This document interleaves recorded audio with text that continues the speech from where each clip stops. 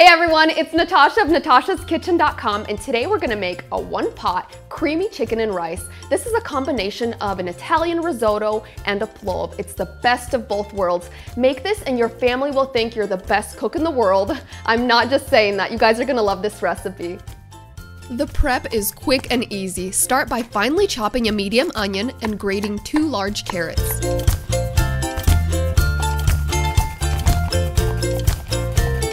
Slice chicken thighs into bite-sized pieces. Place a heavy-bottomed pot or Dutch oven over medium-high heat. Add a quarter cup of olive oil and 2 tablespoons of butter. As soon as the butter melts, add onion, carrots, a teaspoon of salt, and saute until it's soft and golden.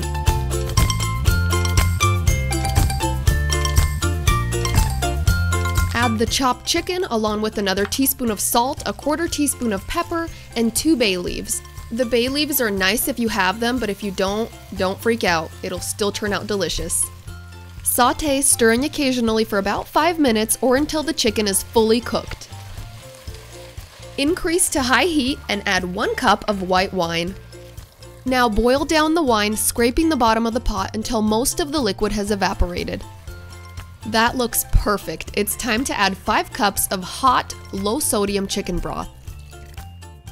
Next, stir in 2 cups of dry jasmine rice and top with a whole head of garlic. Now here's the easiest garlic prep you've ever seen. Slice off the end to expose the cloves and that's it. Push it right into the center of your rice.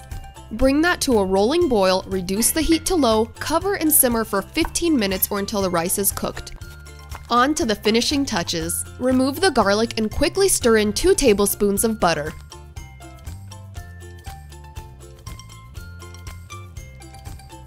Finally, stir in the parmesan and parsley.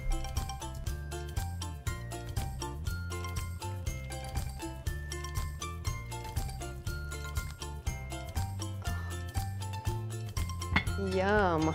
Woo. I seriously love my job.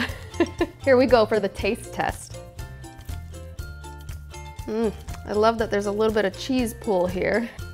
Oh, yum, yum, yum. A little bit of parsley.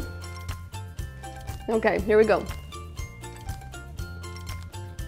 Mmm, so creamy and cheesy. You can taste the white wine, but it's subtle. It just adds so much flavor. Amazing. You guys are gonna love this.